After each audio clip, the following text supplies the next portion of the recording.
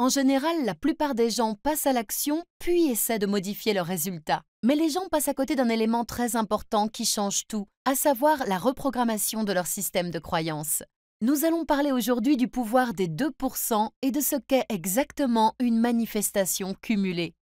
Si vous avez 1000 euros, que vous les mettez à la banque, que vous gagnez 2% d'intérêt dessus et que vous conservez les intérêts sur votre compte, vous ne les retirez pas, vous les laissez là tous les mois, cet argent commence à fructifier et à être capitalisé. C'est exactement pareil pour votre système de croyance.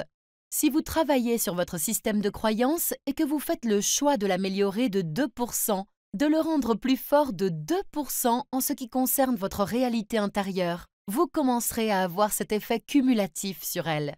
Cette accélération de 2% de votre système de croyance accélère les 2% d'actions améliorées que vous aurez entreprises, ce qui permettra d'obtenir 2% de résultats supplémentaires. Et puis soudain, alors que la spirale ascendante se déploiera, vous commencerez à vous dire Waouh, mais dis donc, mes résultats s'améliorent vraiment Et tout aura commencé avec les 2% initiaux liés à votre système de croyance. Le problème, c'est que beaucoup de gens s'y prennent mal quand ils se lancent dans quelque chose de nouveau. Par exemple, ils se disent qu'ils vont courir un marathon alors qu'ils n'ont jamais couru de marathon auparavant. Ils commencent donc à se rendre à la salle de sport et se mettent à essayer de courir une heure et demie par jour. Pourtant, nous savons bien que si quelqu'un qui n'a jamais couru de sa vie se met du jour au lendemain à courir pendant une heure et demie à la salle de sport, il va souffrir le lendemain matin. Il aura des courbatures, ne voudra plus y aller et va entrer dans une spirale descendante. À l'inverse, prenons quelqu'un qui se dit Bon, mon objectif est de courir un marathon. Je choisis de croire que je peux y arriver. Je choisis de croire que je vais m'amuser et réussir. Je choisis de croire que je vais être bon. Et je vais faire 2%, juste 2% de plus qu'hier. Alors que fait cette personne? Elle va à la salle de sport et fait peut-être de la marche pendant 20 minutes. Peut-être qu'elle court juste 2 minutes ou bien 5 minutes. Elle ne va bien sûr pas courir pendant une heure et demie. Elle n'essaie même pas.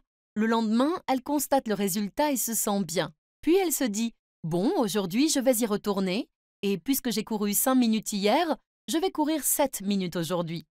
2%, 2%, 2%, et tout à coup, tout commence à s'améliorer et tout commence à croître de manière exponentielle.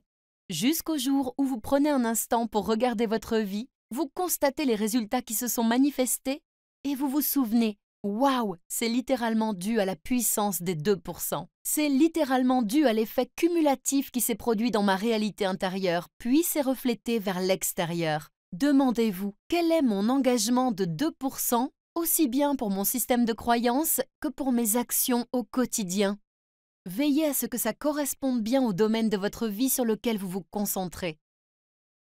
Quels sont les 2% auxquels vous allez vous conditionner à croire chaque jour? Et ensuite, quelles actions allez-vous mettre en œuvre dans votre vie pour vous aligner sur ce domaine spécifique de votre vie?